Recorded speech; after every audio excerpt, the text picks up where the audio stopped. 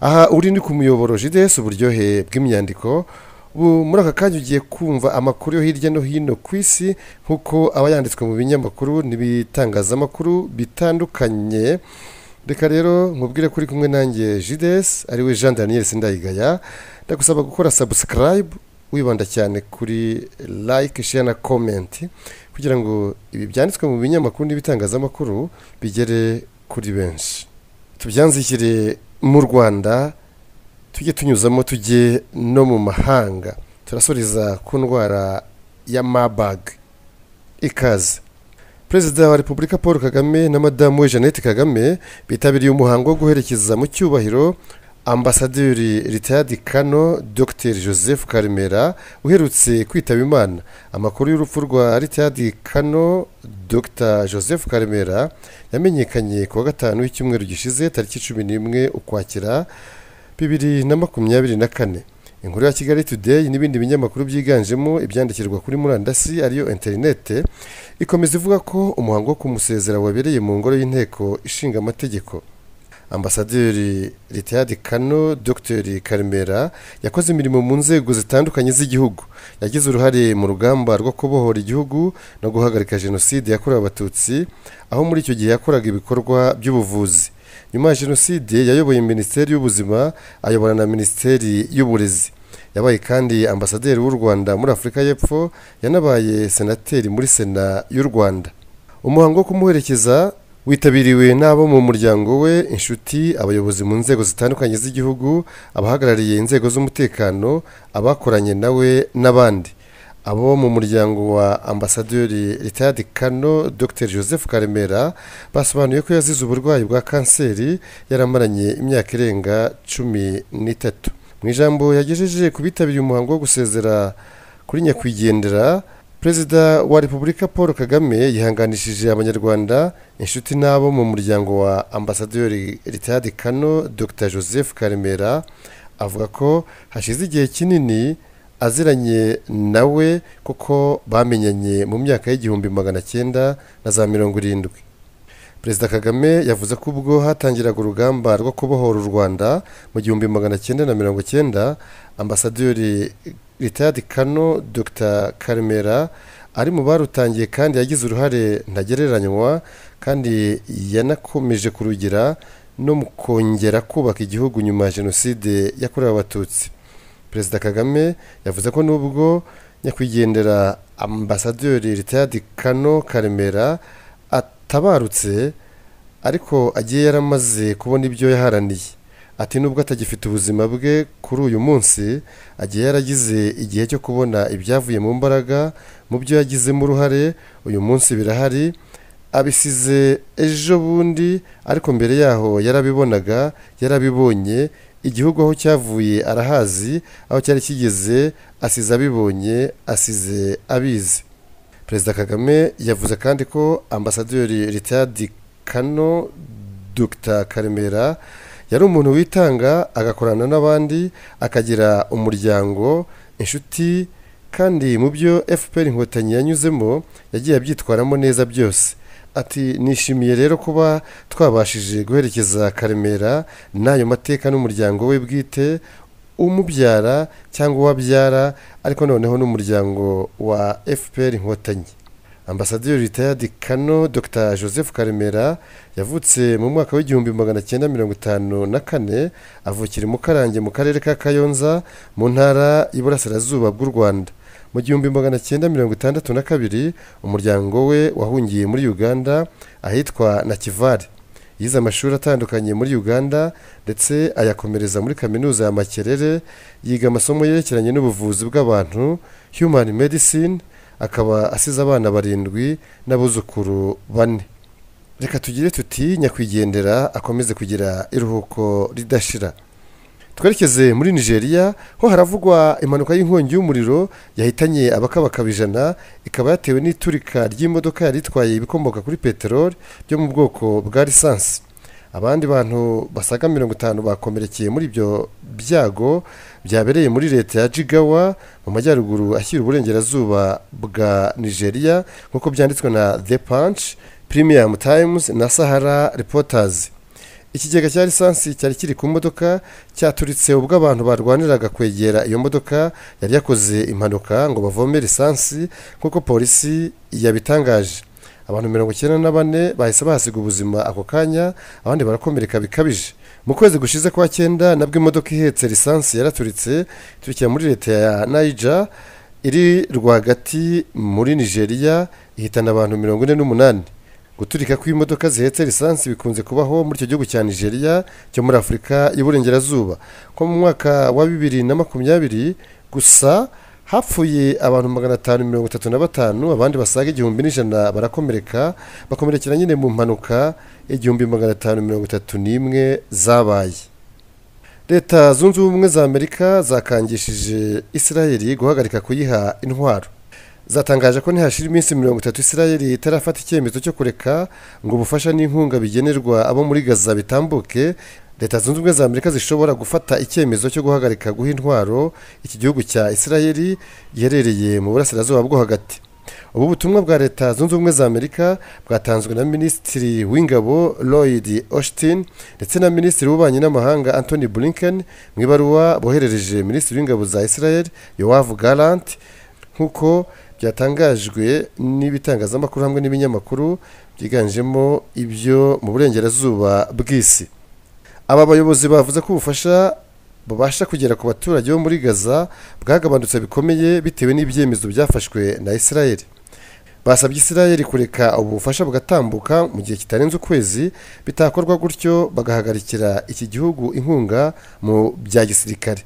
Mbese bakayikupa bati kutabasha kugaragaza ubushake buhoraho mu gushyira mu bikorwa izi ngamba bishobora kugira ingaruka kuri politiki ya leta zunze ubumwe za amerika hakurikijwe iteka nsm akanyerezo makumyabiri ndetse n'amategeko ya leta zunze ubumwe za amerika.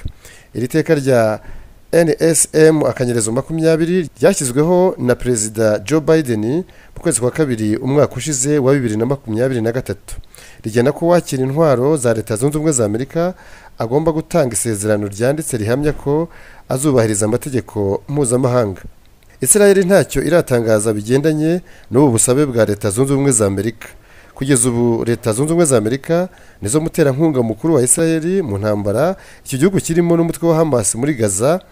Yewe cyubuye n'indi ntambara yiyongera kuri iyi nyine yo muri gaza yatangiye kuva tariki ya karindwi ukwakira umwaka ushize iyo yindi yo niyo kigiye kumara ukwezi iki gihugu cya israel nyine kirwana n'umutwe wa hezbollah muri libani leta zunze ubumwe za amerika zimaze guha iki gihugu cya israel intwaro zibarirwa agaciro ka miliyari cumi n'umunani z'amadolari y'amerika kuva mu kwezi kwa cumi umwaka ushize wa bibiri na makumyabiri na gatatu. Mu zindi nkuru umubiri w'umuntu ufite ubushobozi bwo gukingirwa inkingo zishoboka zose niko inzobere zivuga zihumuriza abantu batandukanye. Inzobere mu bijyanye n'ubuzima bwa muntu zivuga ko umubiri w'umuntu nta mubare w'inkingo ntarengwa ushobora gukingirwa kuko uba ufite ubushobozi bwo kwakira no gukingirwa inkingo zishoboka zose kubera ko ziwufasha kongera abasirikare bahangana bakanawurinda indwara. Ni inkuru na yo dukesha kigali today ikomeza ivuga ko umubiri w'umuntu nta mubare ugira w'inkingo ntarengwa ushobora kwakira. Iyo hadutse nk'icyorezo akenshi gihita gishakirwa urukingo kugira ngo rufashe mu guhagarika ko gikomeza gukwirakwira ariko ugasanga abantu batabivugaho rumwe kuko hari abagaragaza impungenge z'uko bashobora kugirwaho ingaruka n'inkingo bagendeye ku kuba bamaze gukingirwa umubare mwinshi utandukanye wazo. Izo nzobere rero mu by'inkingo n'iby'ubuvuzi zivuga ko kuba nta mubare w'indwara ntarengwa zishobora gufata umubiri w'umuntu ari nabwo buryo ushobora kwakira inkingo zose zishoboka kuko urukingo rufasha umubiri gusa ku ndwara rwagenewe. Dr menelas nkeshimana avuga ko nta ngaruka umubiri w'umuntu ushobora kugira bitewe no gufata umubare runaka w'inkingo.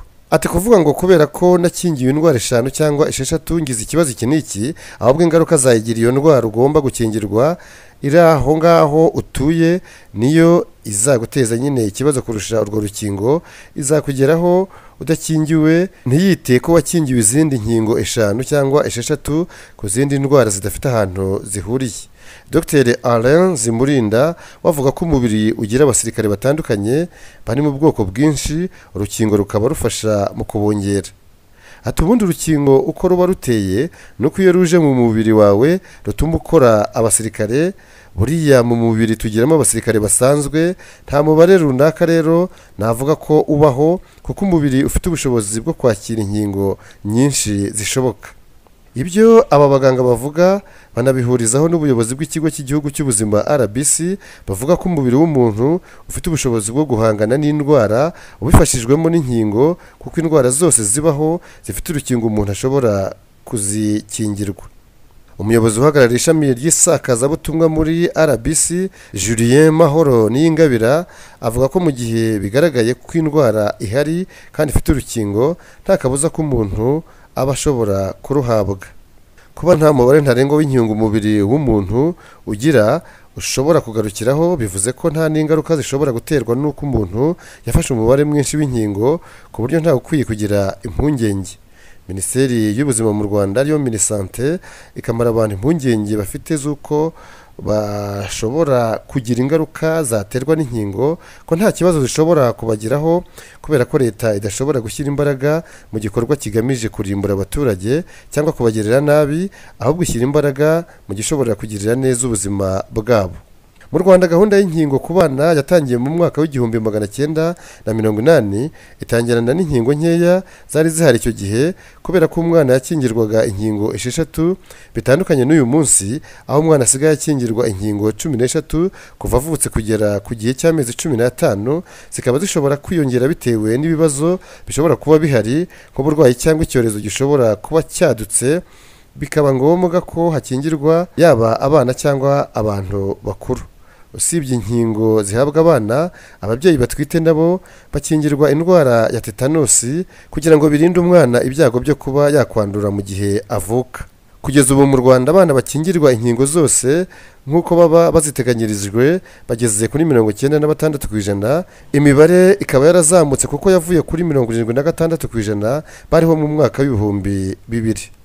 Iyi nkuru yo irababaje ukiyumva. Mu karere ka muhanga hari umuntu umaze imyaka mirongo itatu n'irindwi aryamye imirimo ye yose akayikoresha umunwa.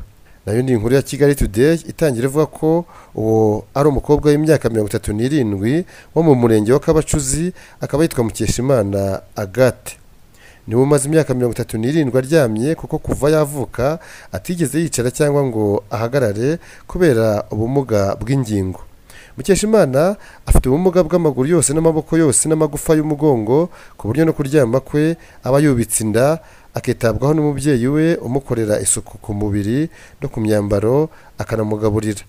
Mukeshimana kugira ngo agire aho ajya nko gusohoka mu nzu ajya hanze cyangwa kujya mu misa bisaba ko agatanda ke gakoze mu byuma bagaterura bakamujyana bamuhetseho bakaza kongera kumugarura ibyo bigatuma ntaho akunda kujya kuko atabasha kwicara mu igare ry'abafite ubumuga. Ikindi gitangaje kuri we ni uko azi kwandikisha ikaramu mu ikayi akandika neza kandi atarigeze agera mu ishuri kubera ubumuga butamwemerera kwicara no kugenda. Ikirenzeho ni uko mukeshimana azi kuboha imitako akoresheje n'ubundi umunwa ururimi n'amenyo. Akagira ati barumuna banjye nibo banyigishije kwandika no gusoma nkajya nsoma bibiliya mbifata nk'ibitangaza kuko ntabwo nigeze ngera mu ishuri ariko nzi kwandikisha ikaramu n'umunwa mboha imitako n'umunwa byose mbikoresha umunwa. Yandika neza rwose akoresheje umunwa. Umubyeyi wa mukeshimana avuga ko umukobwa we ari nawe imfura ye yavukanye ubwo bumuga bw'ingingo hafi ya zose ariko ko atigeze amuta cyangwa ngo amwinubire nubwo yahabwaga akato bavuga ko yabyaye umwana udasanzwe. Mukeshimana akavuga ko ubufasha bwose yabona bwagira icyo bumumarira cyakora asaba abafite ubumuga bukomeye kudaheranwa nabwo nk'uko nawe agerageza kugira utwo akora two kumwibagiza ubuzima abayemo. Ubwo kuri uyu wa kabiri tariki cumi n'eshanu ukwakira hizihizwaga umunsi mpuzamahanga w'umugore wo mu cyaro mu murenge wa kabacuzi. Mukeshimana bari bamuzanye ngo nawe ajye mu bandi akaba yarabyishimiye kuko ngo ari byo birori bya mbere yitabiriye kuva yavuka. Ashimira umukuru w'igihugu paul kagame wahaye abagore ijambo atibagiwe n'abafite ubumuga bigatuma badakomeza guheranwa nabwo. Reka dusoze tubabwira ku cyorezo cya Marburg aho abandi bantu bane bakize iki cyorezo ku munsi w'ejo ku wa kabiri tariki cumi n'eshanu ukwakira abamaze gukira bose hamwe mu rwanda baba buzuye mirongo itatu. Nta wapfuye nta n'uwanduye mushya wabonetse kuri uwo munsi abarimo kuvurwa ni cumi na barindwi. Raporo ya minisiteri y'ubuzima igaragaza ko inkingo zimaze gutangwa ari magana arindwi mirongo irindwi na rumwe naho ibipimo byo ni ibihumbi bine na cumi kugeza nyine ku munsi w'ejo ku wa kabiri tariki ya cumi na gatanu ukwakira. Ku birebana n'inkingo zimaze gutangwa twababwira ko hari doze ubundi igihumbi z'urukingo zatanzwe na sabine vaccine institute zamaze kugera mu rwanda zivuye muri leta zunze ubumwe za amerika. Kuva hatangazwa ko indwara ya mabaga yageze mu gihugu tariki makumyabiri na zirindwi nzeri ni mu kwezi gushize abarwayi bashya n'abo bahuye bagiye baboneka muri bimwe mu bitaro byo mu mujyi wa kigali bose bashyizwe mu kato kandi baritabwaho n'abaganga. Kugeza ubu ibipimo bigaragaza ko iyi ndwara itakwiriye mu gihugu cyose cy'u rwanda. Ubundi ibimenyetso bya mabaga ni ibihe? Birimo umuriro mwinshi umutwe ukabije kubabara imikaya kugira umunaniro kuruka no gucibwamo. Iyi ndwara ya mabage wayirinda ute wikwegera umurwayi ufite ibimenyetso imakaza umuco w'isuku irinde gusuhuzanya ukoranaho mu gihe ubonye ibimenyetso wahita uhamagara kuri rimwe rimwe kane. Ubwo ni ijana na cumi na kane. Reka mbashimire mwe kuri uyu muyoboro jides xavera w'amakuru anyuranye aba yanditswe n'ibinyamakuru n'ibitangazamakuru bitandukanye byo hirya no hino ku isi duhereye birumvikana ku byo mu rwanda. Ngaho nimukoreye sabusikarayibu like share na komenti bigere kuri benshi. Ni ahangaha mpiniye iby'aya makuru yo mu binyamakuru n'ibitangazamakuru yasohotse kuri uyu wa gatatu mwumvaga ku muyoboro jides uburyohe bw'imyandiko. Babwira iki? Nimukore sabusikarayibu like share na komenti mwibanda kuri like share na komenti kugira ngo aya makuru agere kuri benshi ntihagire ucikanwa. Cyawo cyawo mwari kumwe nanjye jides ari we jean daniel sindayigaye.